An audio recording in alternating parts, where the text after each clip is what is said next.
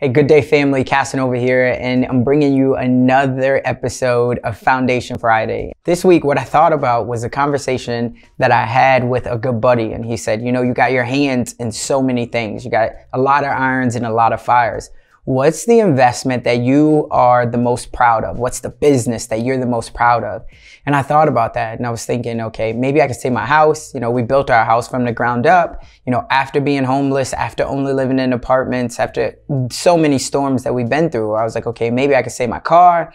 And while a lot of people would say, hey, a car, it's a depreciating asset, or even worse, it's a liability, I always say it depends on how you use it. And for me, fortunately, I was able to use my car as the way that I got into real estate. So I was very proud of that. And I was thinking uh, that should be probably an answer that I say, but I gave it a little bit deeper thought. And on the fly, I was like, nah, I'll tell you, the biggest investment that I ever made for myself was the investment that I made in myself.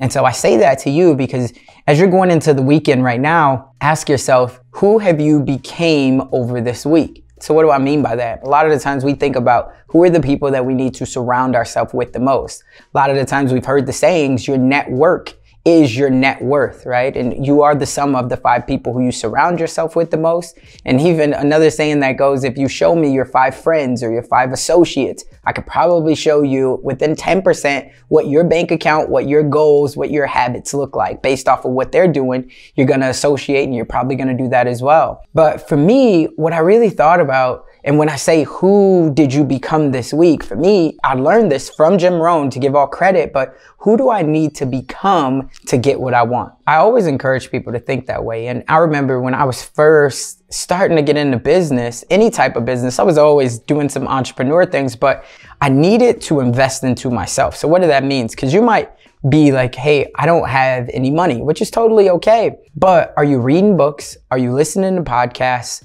Are you watching YouTube videos? What are you doing to level up? And I'll tell you, if you say, well, I am doing those things, are you doing those things with a purpose?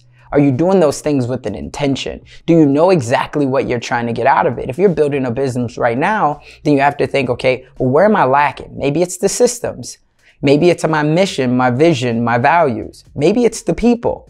So when I'm listening to podcasts or if I'm reading books, I'm doing it with an end in mind. I'm trying to figure out how do I overcome the challenges, but also people who have already been successful that have overcame the challenges already. What did they do? And then I'm trying to take bits and pieces and nuggets of that, right? Jim Rohn, Again, I'm always giving credit because I've learned so much from him. But he said, it doesn't matter what success, what level of success that you have, but that level of success will never supersede your level of personal development and your level of growth, right?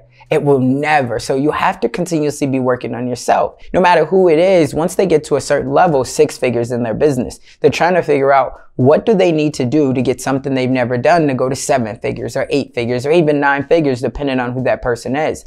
And a lot of the times that's going to come through association and that's going to come through personal development. That means that you probably need to get some type of a mentor, some type of a coach. And maybe that person is in your city, in your town because they've already done something of what you've done. Or maybe that person is not and you're learning from them from afar. But I'll tell you, if you make the investment into yourself, the biggest room that you'll ever be in, right, is that room for improvement. And that's the room that I love because every single day it shows me that I'm still grinding. I gotta be still hungry. I gotta keep associating with myself with people who are going to continue to push me forward, who are going to continue to challenge me, not only physically, but also going to challenge me mentally to say, Hey, well, I love that, but you're working really hard, bro. When was the last time that you took your wife out on a date?